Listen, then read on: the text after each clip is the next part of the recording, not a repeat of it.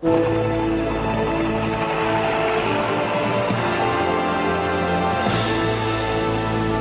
guess we're all set. All right then, we're out of here. Oh no. It's here. In the morning, the government bombed Raccoon City in an attempt to stop further viral outbreak.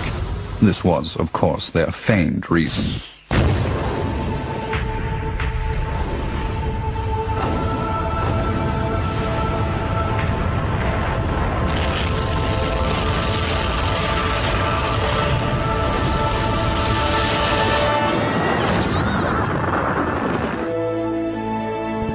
Later, Claire left for Europe to find her lost brother, Chris, and Leon joined forces with an underground anti-umbrella organization.